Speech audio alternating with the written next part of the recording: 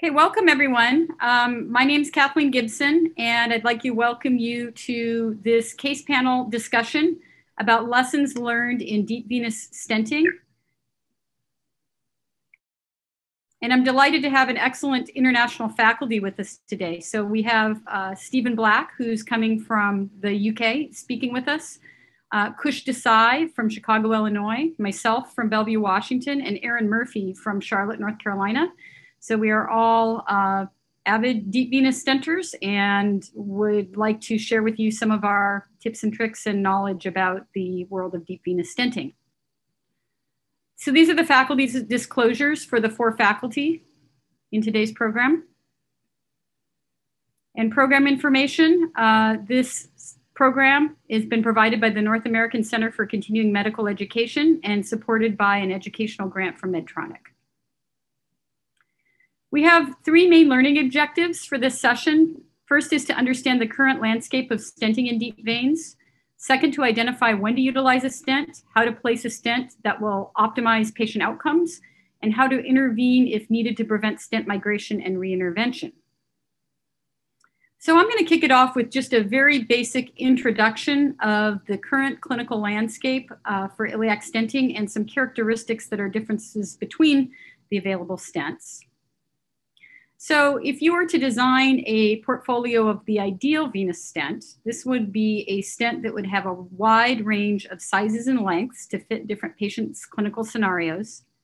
It would be strong and able to resist recoil and compression, flexible and able to negotiate the curves of the pelvis without distorting the stented vein. It would be durable and able to withstand repetitive motion without any loss of integrity. And it would be accurate in its deployment. So some aspects of strength that we talk about, the first is chronic outward force. This is the radial force during expansion of the stent, and this occurs even without post-balloon dilatation, and this is the pressure exerted on the vessel wall by the stent. Radial resistive force represents the resistance to recoil, and it occurs primarily after the stent has been post-dilated with a balloon. And then finally, resistance to compression is the ability of the stent to withstand a lateral force. So the current stents in the United States, not all of these are currently available. Uh, the wall stent, the Venovo, the Abre, and the Zilver Vena are all FDA approved available stents. The Vici is an FDA approved stent which was recently removed from the market, and the Vivid Duo is a stent that is in phase three clinical trials and not yet available to everyone. It's not FDA approved. So these stents have different properties. The wall stent is the stent that we've been using for the longest period of time. This is a, has a coaxial deployment, as does the Vici and the Zilver Vena and the Vivid Duo. It is available and approved, and it is a braided Elgiloy stent. It's got a wide range of diameters, and the lengths are 20 to 90 millimeters, so shorter lengths than some of the other stents that we have that are now uh, vein specific. The Vici, uh, which has been recently pulled from the market, was the only nitinol closed cell stent that was being utilized, had a variety of different diameters and lengths as shown here. The Venovo and the Abre are both triaxial deployment. The Venovo, uh, the French size for access is between 8 and 10, depending on the size diameter of the stent, whereas the Abre is 9 French. These are both open cell nitinol stents with fairly similar ranges of sizes. The Zilver Vena is coaxial, goes through a seven French sheath, the smallest French size, and it is an open cell nitinol stent, not as many sizes on the upper range as the others. And then again, the Vivid Duo is not yet out of clinical trials. So uh, when selecting a stent, first the wall stent is kind of in its own category. This is an Elgiloy closed cell stent. It has high radial force except for the ends of the stent, which tend to be weak and can collapse. It comes in the largest sizes, um, but not as long of lengths. It does tend to foreshorten, which can be a bit of a challenge when you're uh, judging uh, what length to put in. It's crush resistant, but less flexible than some of the other choices. And deployment accuracy can be an issue. However, the plus side of this stent is you can recapture it uh, up to a certain point of no return um, and reposition it, which you cannot do with the other stents. So this is a little video clip showing you a uh, wall stent and kind of It's a bit of a more stiff stent. It tends to straighten out the vein that it's in. And when it's compressed, it elongates. So this is a closed cell Elgiloy stent. Uh, these come from multiple manufacturers. They're self-expanding. They resist recoil. They withstand compression well. And one of the main advantages of them is that they're easy to deploy. They tend to land right where you think that they're going to. They foreshorten quite minimally.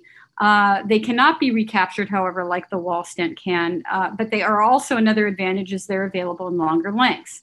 And the radial forces with these stents really vary depending on which stent it is that you're putting in. So this is a, a picture of the Vici stent. This is no longer available. And then a movie clip here of me showing you Vici stent. This is a closed cell nitinol stent. This one does tend to kink a bit. It's not quite as flexible as the open cell stents.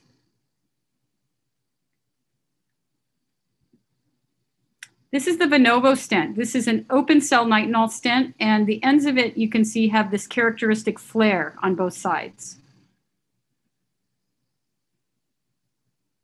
And on this video, I play with this stent a little bit so you can see it.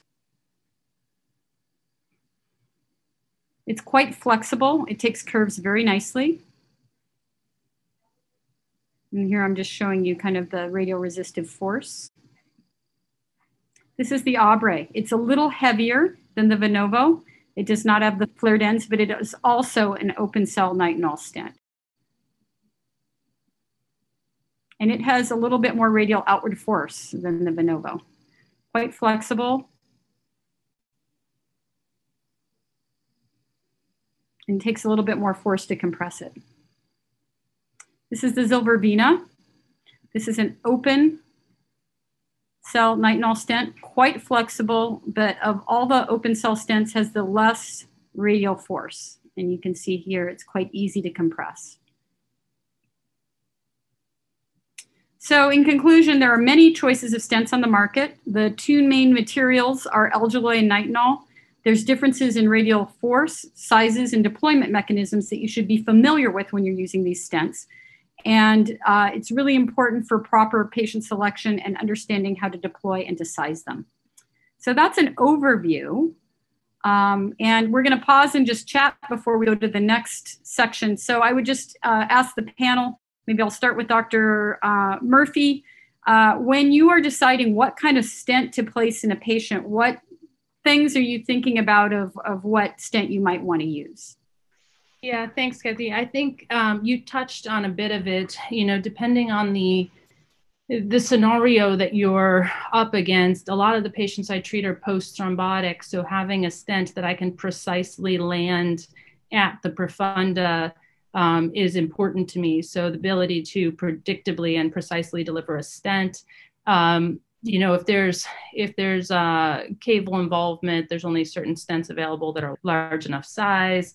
I think about um, the post thrombotic patients need, I think, a bit more radial resistive forces in order to um, combat the tough scarring.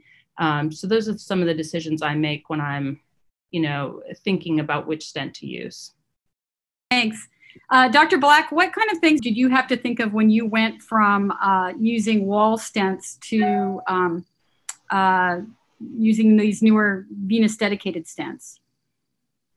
Oh, I think the biggest thing is the technique is different. It's uh, you don't deploy them in the same way. They don't behave in the same way when you deploy them, and the sizing parameters are different. So, I think if you if you go straight from using wall stents and use exactly the same uh, thought process that has been taught, and most people would go from what Raju has been talking about for many years. You're going to get into trouble with the nitinol stents.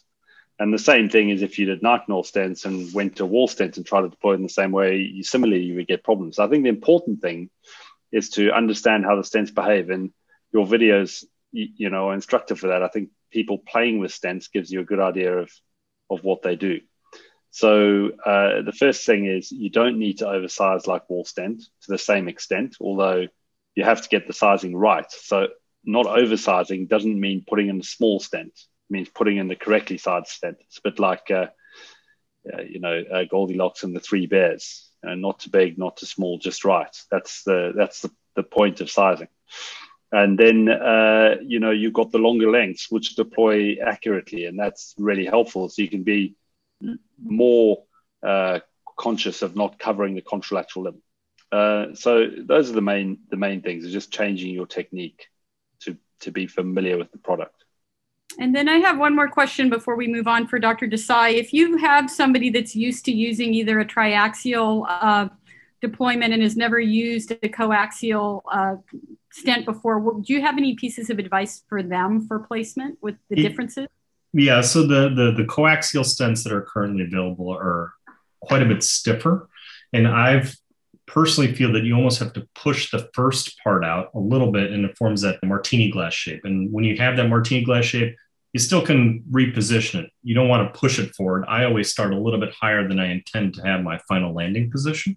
Um, it's the same idea with the triaxial stent, but of course you don't have. There's none of that um, initial release of static friction that you have to have before you deploy the rest of the stent. So with the coaxial stent, you just have to be mindful that if you try and pin pull, I, I, know the first time I tried to do it, I was a little too low, and then I had to extend it up. Um, I recognized it right then, and I had to place the second stent. Um, with the triaxial stent, you don't, you simply don't need to do that. So, you know, uh, consistent with what Steve just said, each one behaves a little bit differently at deployment. So you just have to be aware of it. Excellent, thank you. Um, and so the, I'm going to turn the next talk over to Dr. Black and he's going to talk to us about tips and tricks for successful intervention using stents. Uh, thanks, Kathleen. And uh, obviously, it's a great pleasure to join all of you on the panel. Um, so, I think w- when I think of tips and tricks for venous stenting, the first place you've got to start is learning about venous disease. Uh, you have to understand the data for treatment. So, and that that's about who to treat, who not to treat, uh, what's out there, what information is out there about venous stenting. I mean, one of the biggest mistakes I've seen is people go from treating arterial disease and simply assume you can move across to treating veins. And uh, I've often made the analogy that it's like playing squash and tennis, a racket sports with a ball, but the rules are different, and you have to know those different rules. You have to learn the techniques, and I think we've just touched on that with the difference between wall stent deployment and, and what nitinol stents do. And you can't simply take what you know about nitinol uh, wall stent, for example, if you've done that a couple of hundred times and expect that you can do exactly the same thing with a nitinol stent, they're going to be different. And then each of the stents are different. I think uh, I've had very good experience with the Vici stent over many years. I've had good experience with the open cell nitinol stents as well. And, uh, you know, our data doesn't show any particular difference in performance between those stents. And that's related to, to knowing how each of them behave and, and using them appropriately. I think the biggest thing for me in venous disease was spending time with people who've done it and been there before. So you make novel mistakes. There's no point in making old mistakes. So, you know, we know the things that you can avoid and you should avoid them. Then make novel mistakes because everybody's going to do it and come and teach everybody else so that we all learn from that and, and we keep moving on. Uh, and I spent, uh, I'd say Peter Neglin was probably most instructive in getting me on in venous disease. I spent a lot of time with Peter in the beginning and he came to my center quite a bit and was hugely supportive. And in the early stages, Jerry O'Sullivan and Niels Beckhardt, um, along with a few other people, Rick de Graaf, uh, Niels Kocher, were hugely influential on my practice. And as that's grown, I've spent a lot of time talking to other people, Kush Desai, uh, Aaron Murphy, both on this call, yourself, Kathleen. We, you know, we spent a great deal of time discussing treating patients. And, you know, I'd say that I fairly frequently will text Kush or Aaron or Jerry and ask them about a patient. guy. I, you know, what do I do with this patient? We've had a problem. Yeah, what do you think? You know, and I think you've got to accept that it's continuous and be humble enough to be continuously learning from your peers and, and seeking out knowledge. Uh, the second thing you got to do is build a team in your hospital who are going to treat these patients properly.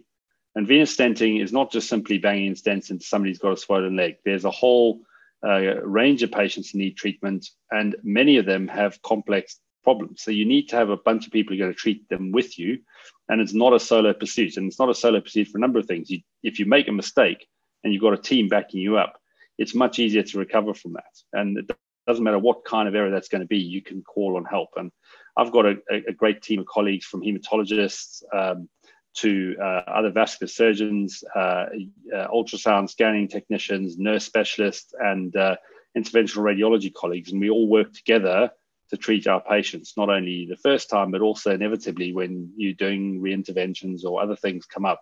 And it is a, a team pursuit. Uh, the third bit of it is you have to change your pathways and you have to change your decision making. So the pathways are about introducing standard pathways to the hospital so that you get patients to you, not only to treat, but also to follow up and manage. So one of the things I saw early days in venous stenting was people would put a stent into an acute or chronic DVT patient and not see them again. And because you don't have that same uh, problem that you have in arterial disease, where if your stent blocks overnight, the leg is ischemic again the next day, all that's happened is the patients don't feel any different. And you go, well, that looks fine. You go home. And if you haven't scanned that, the first time you know there's a problem, and as the patient comes back a couple of months later and says, yeah, I don't feel any different. My leg's the same. And you scan them and the stent's blocked. And then it's very difficult to do something about it. So your pathways for both getting patients and following up need to be changed. And you also have to think about the decision making on that. You know, I think that the real pressure in venous disease is a combination of things from untreated patients who've had years of mistreatment to uh, complex disorders to the ease to make a diagnosis based on imaging that may not be true. Uh, and you know, I read this book called The House of God when I was studying. Uh, I'm sure many people know it, but the quote that has always stuck with me from The House of God, which is probably stolen from Voltaire to some extent, but it is the art of medicine is do as much nothing as possible. Uh, and you know, it's really it's really true. You know, even when we're pushing the boat out in innovations, you've really got to be sure that your patient needs that uh, treatment or or that intervention in the first place. Because if you don't do something to them, then nothing can go wrong from anything you've done. Uh, the, the, fourth part about this is obsessing about detail. It's not just putting in a stent. And a lot of the mistakes with venous stenting is contemplating that the venous stent itself is the panacea. You have to think about access. If you access the common femoral vein, you're going to miss disease. If you access the great saphenous vein and try and lyse patients with uh, femoral popliteal vein thrombosis, you're going to miss disease. Uh, you need to think about using IVUS, which I think has made a, a massive difference to practice. You've got to look at profunda inflow. You've got to look at uh, anticoagulation and get that really spot on and tight. I mean, simple things like taking sheaths out in the operating theatre, not leaving patients to go back to the ward to have the sheath removed at some point afterwards, which was a real legacy of arterial treatments you can't do in veins. And then you've got to think about your stent landing and stent sizing. And I think, uh, you know, you've got to look at making sure you can see in this bottom picture, although it's not clear, but you can see the, the line that the, the wire is following in a lateral view of the patient. You need the stent to come out into this upward pointing segment of the vein so it's not sitting steep down in the pelvis. And that's particularly important with uh, the nitinol stents because they do straighten a little bit. That's the nature of nitinol. And then they can start to tense and straighten at this bend in the bottom of the pelvis. You don't want that. You've also got to look at overlap zones of the ligament. This, this sort of problem with stent fracture is in a large part about inappropriate overlap or positioning of short, small stents underneath the ligament, which don't respond well. And that's exactly what's happened here. It's not, it's not really the stent so much, it's the technique of using it that was more of an issue. Um, and you know what we know is that if you look at things like stent migration, uh, small diameter, short stents are the things most likely to move. So if you're treating a NIVL patient and you're thinking about putting in a 40 or 60 millimeter, 14 mil or less stent into the patient, don't do it. Go and put it back on the shelf and take something else. That's the basic, simplest answer to that problem. And that will stop probably 90% of stent migrations, not all of them. But if your bigger stents move, you, you've got to ask yourself whether you needed it in the first place. And then, you know, following up your patients, I've learned a lot from just following them up. And, you know, if I reflect on my early practice, we made a lot of technical errors in, in particularly the more complicated uh, patients. And uh, Aaron and I um, have been going through the data from the ABRE study, which Aaron presented beautifully at uh, Charing Cross uh, a couple of weeks back. Uh, there was, you know, the main issue that came from looking at the failures in that study were technical errors that could probably have been avoided. So again, it comes back to the stent is not the panacea. And once you've eliminated the technical errors, you can sort out clotting in a lot of patients, particularly with novel anticoagulants. And then you're worrying about flow. And that's difficult, but at least then that's a patient selection decision. If the inflow is poor and you think it's not going to work, your option is not to stent that patient at this stage. And that's a, a much better decision than making a technical error by putting in the wrong stent or the wrong combination of stents. And, and we all see multiple pictures on social media where, frankly, you look at three or four stents stuck in a in iliac segment, wall of 60 to 90 millimeters, multiple overlap zones.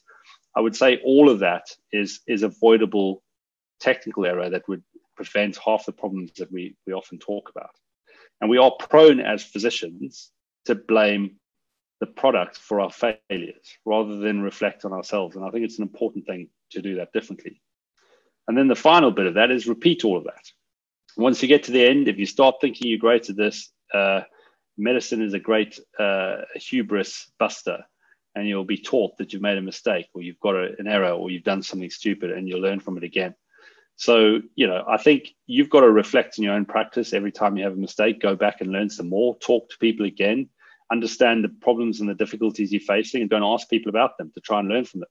I think one of the things that struck me most about becoming a senior surgeon often or a senior interventionist, whether you're interventional radiology, cardiology, whatever you may be, is we seem to get to this point in our careers where we think we're trained and then we stop focusing on learning from other people. Uh, you know, even Roger Federer has a tennis coach. So why do we why do we do that? Why don't we go back and keep learning from people or get other people into your operating theatre? I've benefited hugely from having people come visit me or going to visit them and seeing things that they do different that have influenced my practice. And uh, you know, I'm I'm enormously grateful to all those people uh, who have provided that along the way. Some of whom I've mentioned in this, but there's there's many others that have contributed to hopefully stuff that benefits my patients in the long run and I look forward to uh, the rest of this. Okay, so just a just a few uh, questions before we go on to Dr. Desai's talk. So, um, one thing that I want to discuss, we we talked about underside, you know, too too short or too small of stents. But you also touched on, um, you know, if you have a bigger stent that migrates, maybe that patient didn't need a stent at all. So I think hmm. one problem that people sometimes have um, when they are uh, using IVUS or venography is that they they miss the true size of the vein where it's kind of pancaked. And what yeah. happens with IVUS is that you get a wire bias so that the IVUS is on one side, and then you lose the size of the vein, yeah. the width of the vein. And um, you know, so I think a few tips from my point of view, and we can see whether other people have them, is you can actually make sure you have a soft wire, pull back the wire to try to get the IVUS more centered, make sure the patient's hydrated, um, all of those things. And, you know, if you can't see the vein to size, maybe it's a really big vein and you shouldn't be there. And I just wanted the panel to kind of go through what do you do? This would apply to a NIVL patient of making so, sure so, you've got the right size. So, Kathleen, I think there's two things that, that I do with NIVL patients in particular. One is I totally ignore the common iliac vein and compression point. If it's a significant compression, I size the stent in the external iliac vein, and I'm really relying on a long stent that's going to be held by the external iliac vein and pinched a bit by the May-Thurner point. But the, the common iliac vein is irrelevant to me because it's normally in a genuine uh, NIVL lesion has a degree of pre-stenotic dilation and it's bigger than it should be. So if you try and size off that, you're going to get the stent. It's going to be all over the place. So you always have not great wall apposition in the common iliac vein, but your purchase from the stent is in the external iliac, which is why I come around the pelvis and I can't see the downside of doing that. I, I know you're covering the internal iliac vein, but I've never understood the downside of of doing that. I just, you know, there might be a you might have one or two patients that you can't access internal iliac vein if you need to later, but those are, in my practice, are, are pretty uncommon. So I, am not worried about that. And the, the of wide cell structure you can normally get through. Uh, and the second um, thing that you do is if you're not sure about a NIVL, bearing in mind that we're always assessing patients lying on their back, is I will inflate a 14 or a 16 balloon, high pressure balloon, to two or three millimeters of mercury, just so it's fully expanded I'll start it up in the IVC and I'll pull the balloon down through the venous segment into the common femoral vein.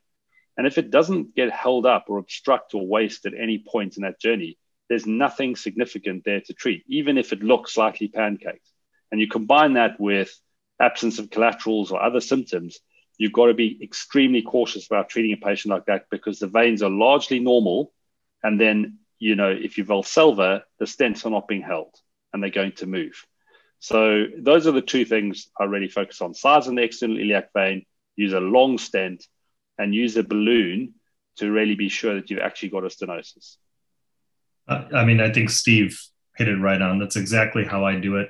Um, the only additive thing I can say is that, if anything, what Steve said also speaks against the whole idea of the 50% area stenosis. You can't measure the area of a compressed vein. You don't see the entirety of the vein. If you don't see the entirety of the ellipse, you can't measure the area. So, in, in my mind, that that's what invalidates the long held belief of 50% area stenosis being the clinical determinant of needing to place a stent in an appropriately selected patient. So, this is where VIDIO comes in, and we're gathering more data and 61% minimal diameter stenosis, sized, as Steve just said, not to the common iliac vein, but to the reference extra iliac vein that is normal. That's that is the key um, to not undersizing or frankly oversizing. All right. And Aaron, uh, Aaron, do you have anything else to add? Yeah, the only the only thing I would add to that is, you know, I don't, again, I don't treat a ton of May-Thurner or NIVL patients that have a completely normal vein below. I think that's typically a patient who doesn't need a stent. Uh, patients who have been subjected to higher pressures for a prolonged period of time, they generally have a more sclerotic vein below. So, one of the things that I do, in addition to what they've mentioned already, which I agree with everything, is in a NIVL patient, if you really want to see if this anatomic versus pathologic, is do a, a significant breath hold. Um, in Valsalva, you get varied responses based on the patient's body habitus, but in breath hold, you'll get a pretty good um, venous dilation. And so if that if that area under the May-Thurner, the area in the common iliac vein below the May-Thurner significantly expands, that's a pretty normal vein because disease veins don't do that. Um, so I'd be very cautious to stent that patient. And I think it's a good way to look at, do you really have a, I've seen cave, people say caval stenosis. No, it's just collapsed um, or a May-Thurner. It's a good, it's a good way to sort that out.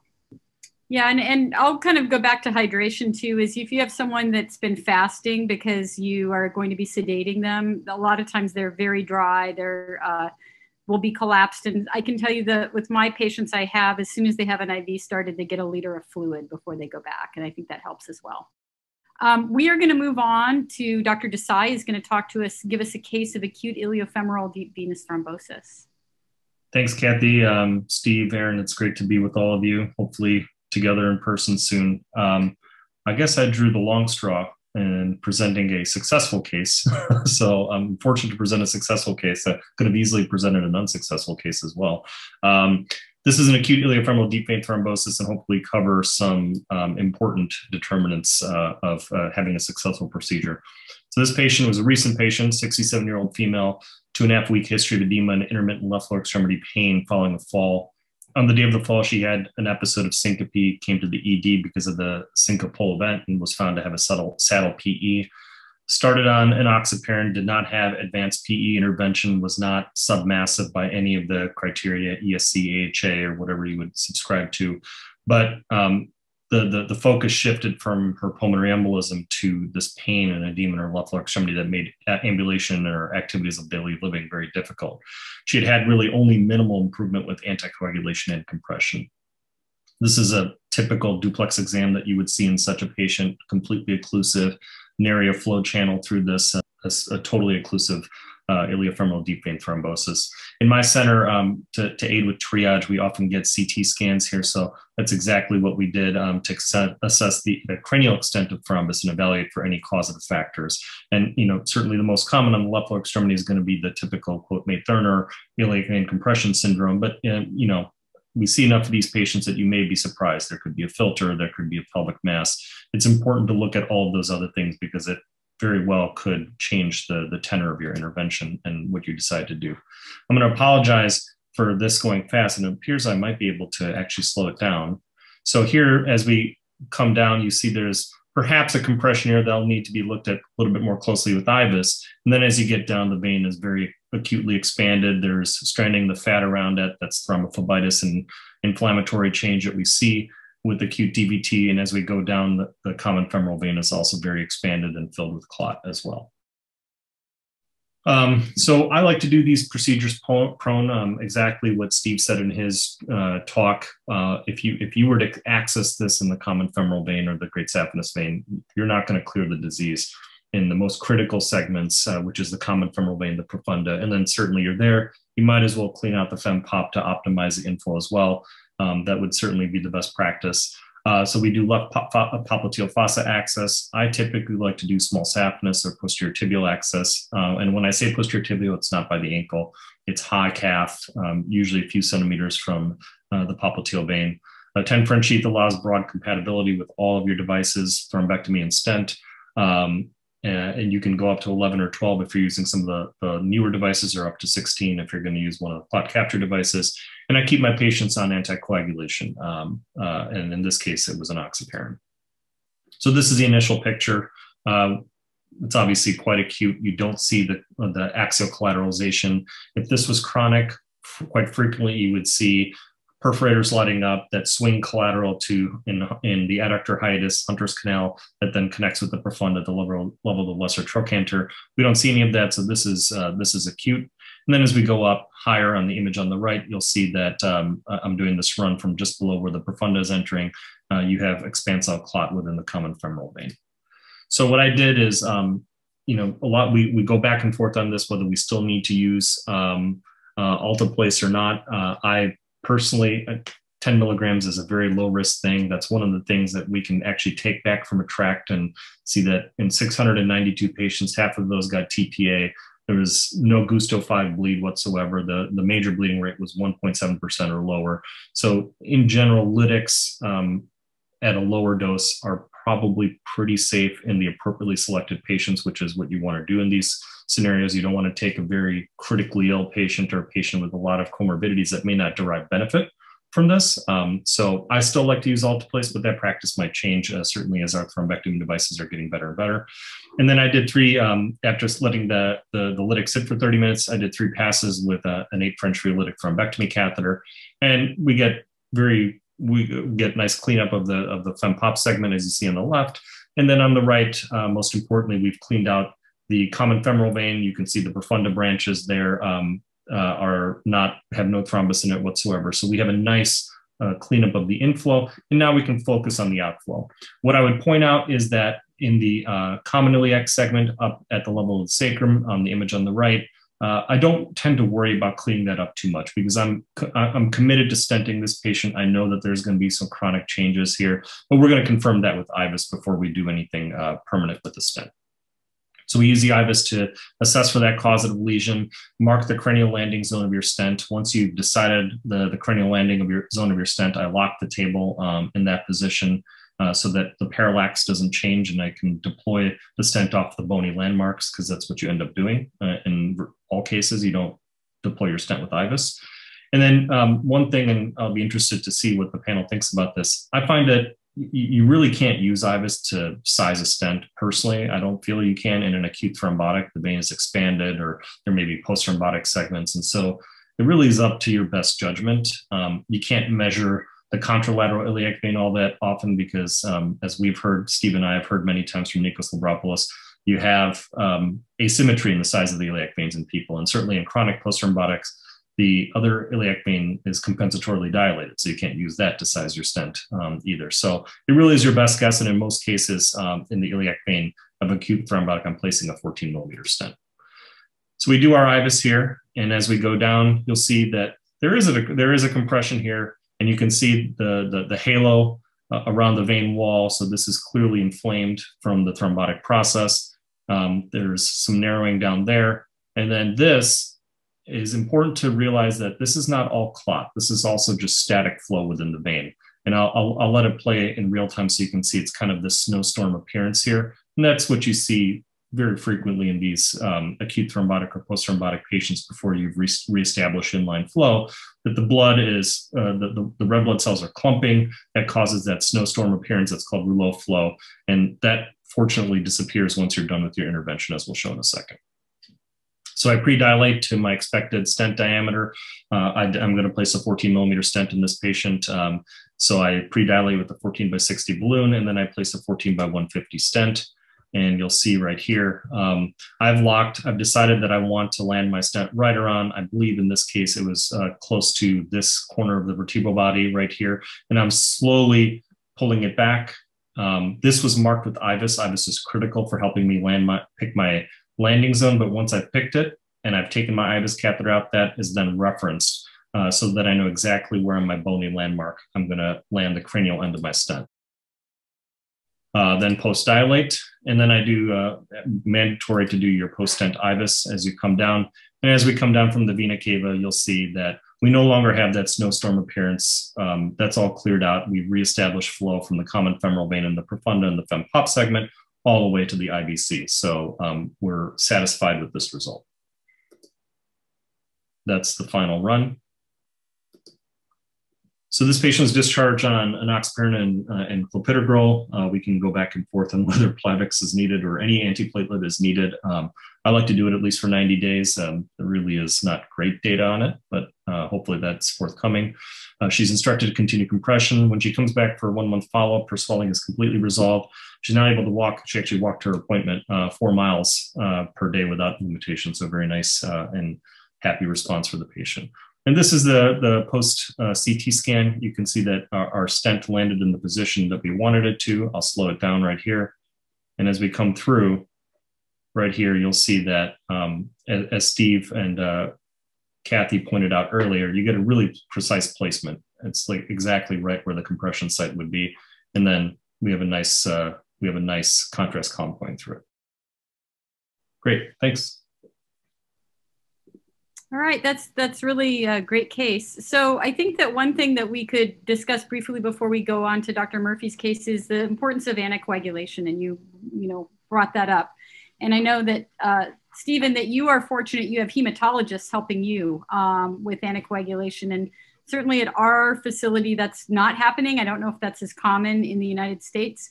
But I think that um, I would say that uh, we all need to make sure that if we don't have a hematologist or someone helping, that we're very kind of familiar with the different anticoagulation choices. And sometimes you actually have to tailor them a little bit to different um, patient scenarios. So, uh, but I think that you, you certainly would hate to have a beautiful result like that and not have good patient education and have them stop anticoagulation and then come back with the thrombosis. So, any um, recommendations from the panel on patient follow up and kind of having a good commitment with the patient with having something like enoxaparin and getting them to do injections for a period of time? Any comments? Um, uh, Kathy, I think that's an interesting question. Uh, I, you know, I've, I've, pondered that from the patient buy-in in some respects, having to have an injection and having to come back to have your levels checked with Coumadin or the vitamin K uh, based drugs um, does create a different compliance uh, with patients than taking a tablet that doesn't get measured and you can carry on with life as normal. Uh, I'm not sure there's a huge amount of data to support that, but it does seem to be uh, an experience that we have. And our practice is generally two weeks of low molecular weight heparins followed by uh, warfarin in our case for the first um, six months, and then we transition patients to a DOAC at that point. Once everything's stable and we're happy that there's there's no other issues. And there's some experimental data to support uh, low molecular weight heparin and warfarin, although it's weak, admittedly. But I think whatever you do, the principle is make sure your patient's anticoagulated from the moment you finish the procedure to the, the time you follow them up. The, the, there's so many patients I think who just don't get adequate anticoagulation in that peri-procedural period. And by the time you look at them, it's already started to thrombose and you've missed that window. So it's really tight anticoagulation from from the table. And we get the ACT up to above 200 when they finish. They leave the operating theatre with stockings and Flowtron uh, intermittent pneumatic compression on, and they get their first dose of a low molecular heparin in recovery before they go back to the ward. So that you know they they are really tightly anticoagulated at that initial phase. Okay, any, any other comment? I agree with all of that. And I think that there's you're going to find variable uh, treatment algorithms. And for for NIVLs, I I actually just use antiplatelet on NIVLs uh, unless there's something uh, funky going on. Uh, but I tend to do three week. I always do three weeks of enoxaparin with the patients if I can can get them to do it. Uh, you know, or I, I talk with them about the big investment that they have made in having a procedure done and that you don't want it to fail. And, um, you know, for a long time I did Coumadin. There's some patients where I'm doing a DOAC, usually the uh, apixaban because it's twice a day.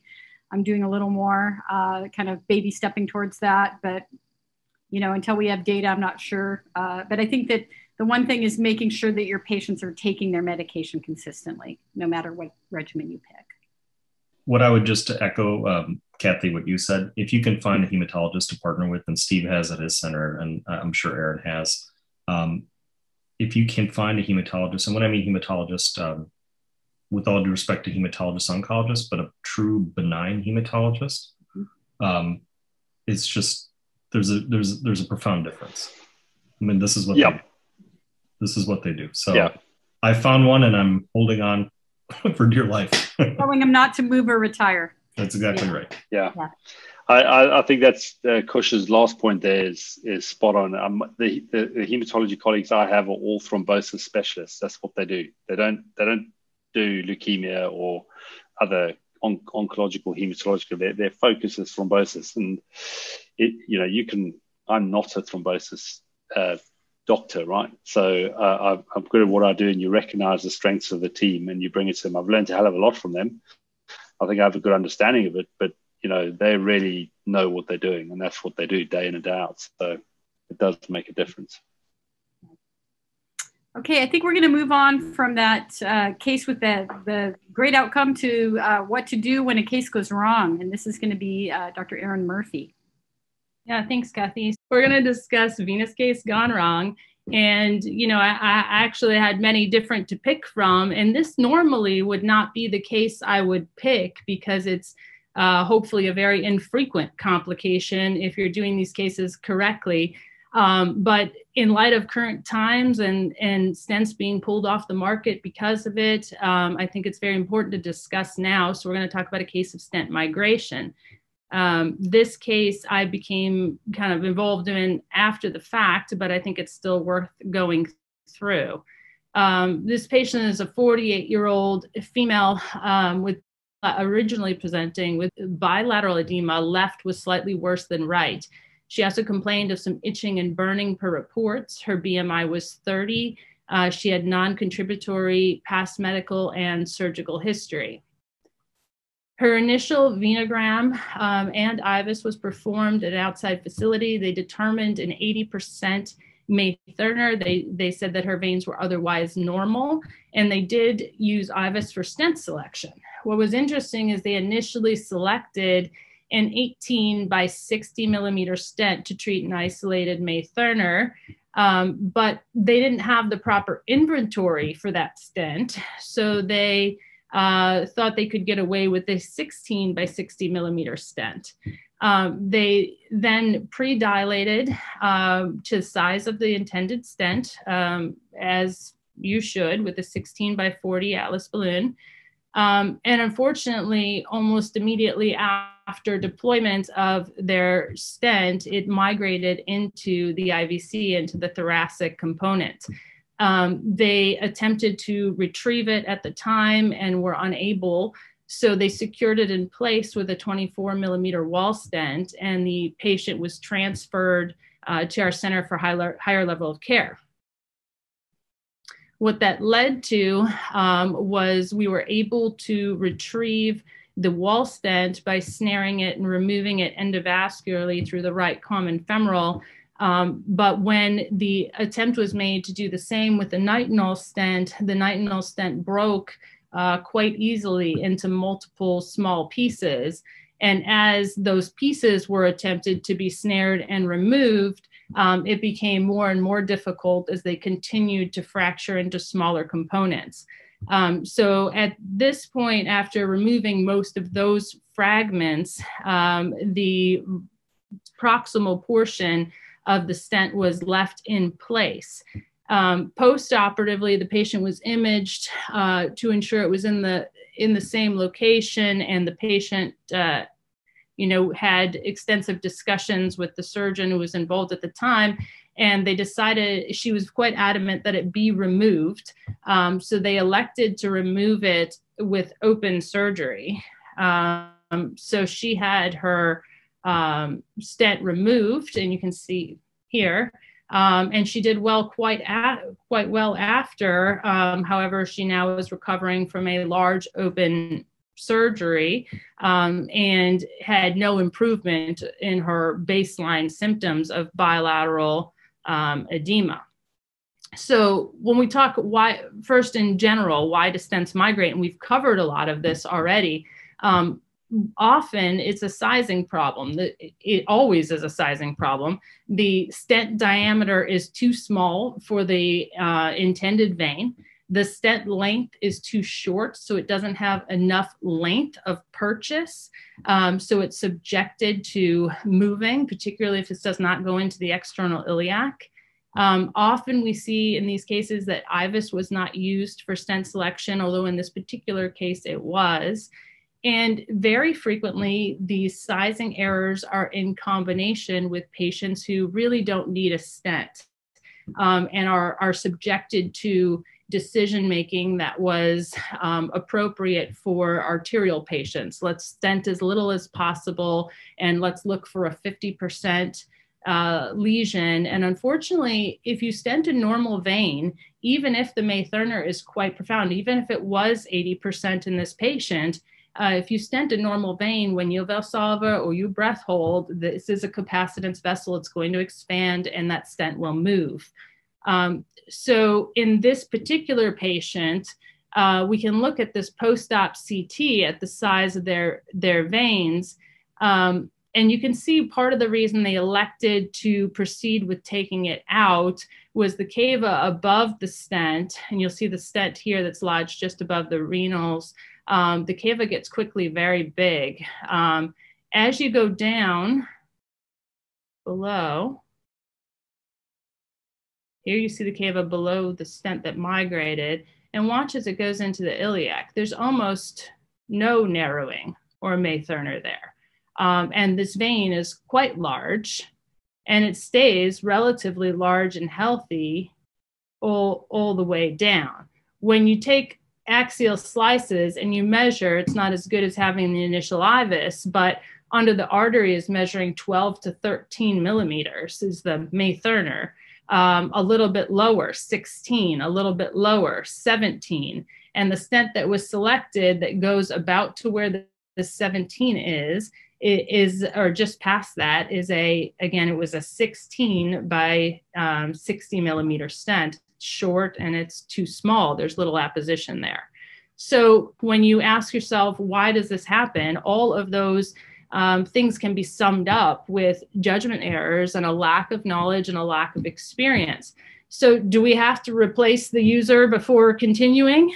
Um, the answer is probably not, uh, but we need to make sure that before people are selling these products and advising on sizes before interventionalists are putting them in that there's some degree of education that this is not an arterial stent that these um, how to size them properly, how to do these cases, or we're going to be headed in the direction of these IVC filters. But frankly, it's happening a lot faster. Uh, this was a decade after. We're now pulling stents off the market. Uh, you know, what a year after initially appearing. So maybe two, I guess. Um, so tips to prevent this particular stent migration problem, um, we've covered again. You can't use isolated short stents. You need longer stents. You need them well into the external at a minimum. You don't want to undersize them. Um, use IVUS for stenting and, and uh, stent selection and treating isolated May-Thurner uh, with an otherwise normal vein it should be done with caution. This is often anatomic, not pathologic, and you need to be able to tell the difference. Um, remember, migration is not the only stent complication. It's not even the most common that we see. Um, in my practice, I see secluded stents from inflow issues most often. Um, but I also see jailing of contralateral veins with DVT. I see jailing of the profunda. Um, where the stent's taken too low and those stents are difficult to keep them open. I see now stents, as Steve mentioned, these stents straighten the vein. So when you use these 60 millimeter, 80 millimeter stents, they're often at the bend on the left side. And this one's a little bit different, but you can imagine it vice versa. If it lands right at the curve distally or proximally, they eat through the vein. And I, have now had several of these patients um, from these short nitinol stents. Um, so we'll, we'll stop here and kind of discuss if anyone has anything to add, but I think education is our biggest challenge here. That was great, Aaron. Thank you. Um, and you know, I do have one kind of philosophical question for the the panel. With a lot of discussion that has gone on with stent migration, I've heard um, some others say, well, if a stent migrates, if it's like a 14 or a 16, that is proof that the patient did not need an intervention.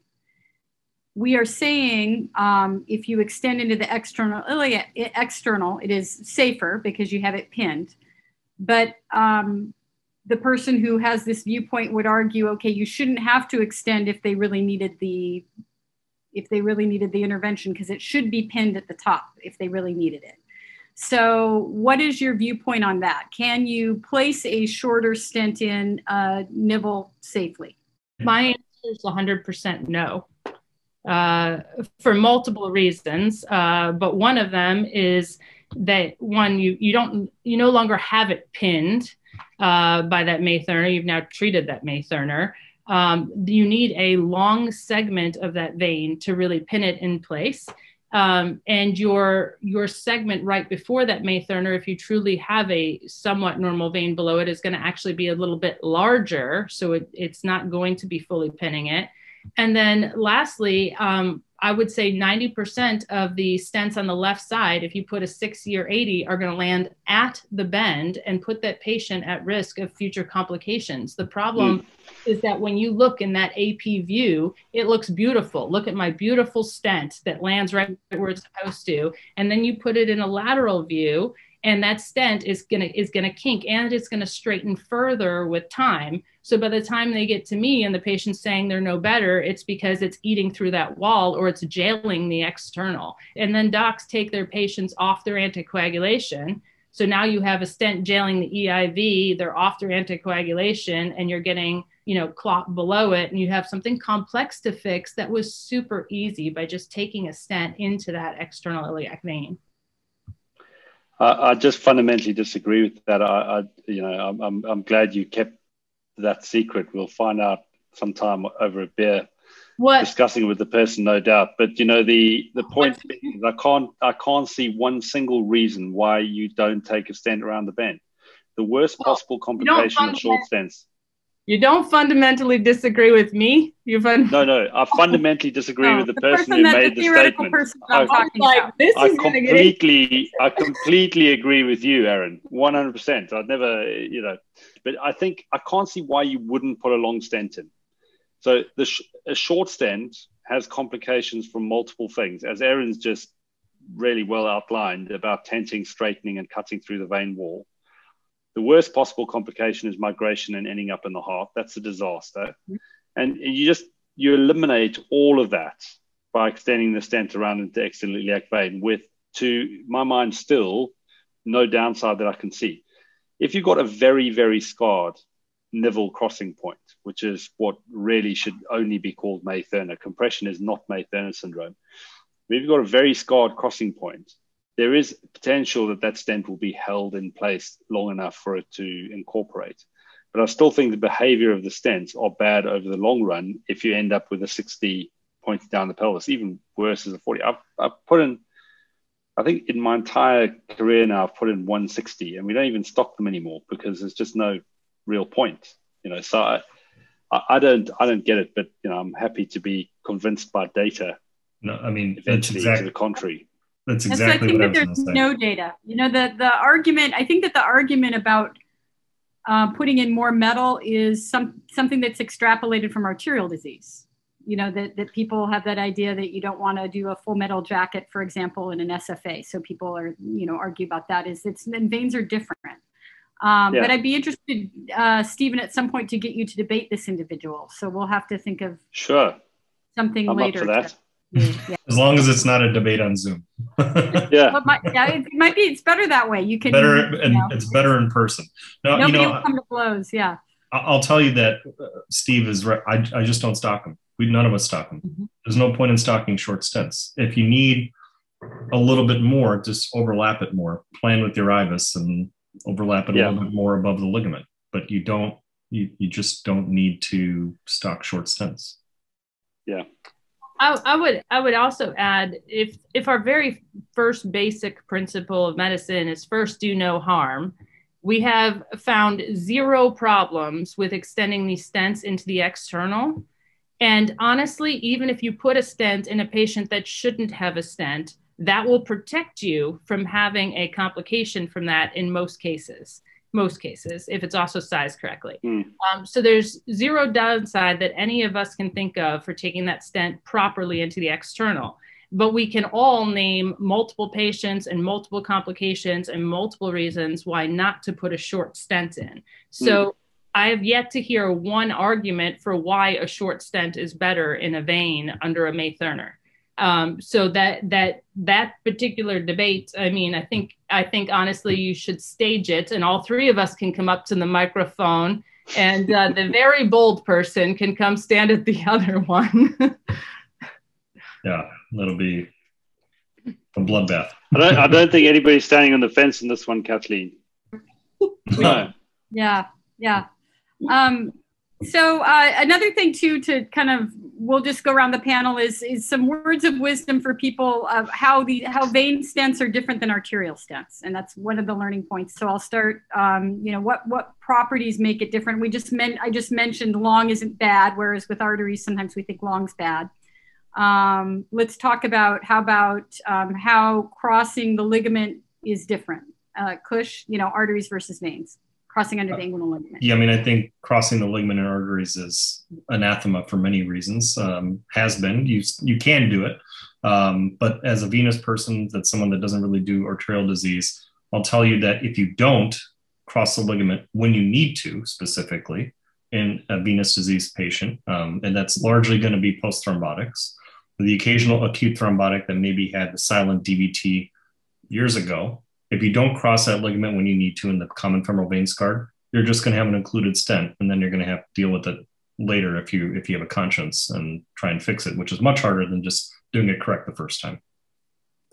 Right. And I mean, and this also, I think, goes towards um, what Stephen was saying about mentorship. Like, you, you may be treating arterial disease, or if you're a cardiologist, coronary disease, and think, oh, I know stents, I know vessels. And I think we've all brought this up. The veins are different um, the principles that you use for stenting coronary arteries and uh, are, you know peripheral arteries is it's different. And so you need to have a mentor that can teach you those things if you're new to this and you didn't learn it in training.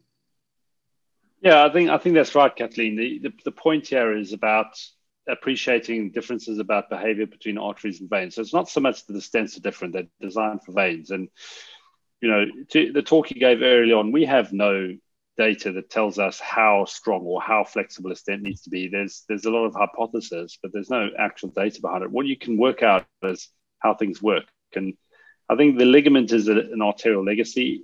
The open cell stents in particular have seen really low rates of fracture under the ligament. Um, and, and we know from some experimental data that it's not the ligament, it's the symphysis pubis that is more of an issue anyway. Uh, so as long as you position the stents correctly, and that means no overlap around the ligament, Longer stents again bend better. There's another argument for longer stents. They they are you know, if you play with them on a bench, they bend. A short stent does not bend. It's a rigid tube. So you know they bend better. You place the, the overlap, a single overlap above the ligament with two stents instead of three. Uh, all those features make make things work better. So I think it's about planning your cases and about thinking about it and about playing with the devices on the table so you know how they behave and then you know working through the upsides and the downsides. I mean, we can't say with any data that a longer stent is better, but we can argue that we've seen far fewer complications to none by extending a stent where you have seen them with shorter stents. I think that's that's what it teaches you. Right, right. Well, we've uh, I think had a very robust hour. Hopefully, uh, you you all got something out of this. Uh, it's a pleasure to be with my three friends um, discussing this. So, uh, and, and thank you to our sponsors for putting this together.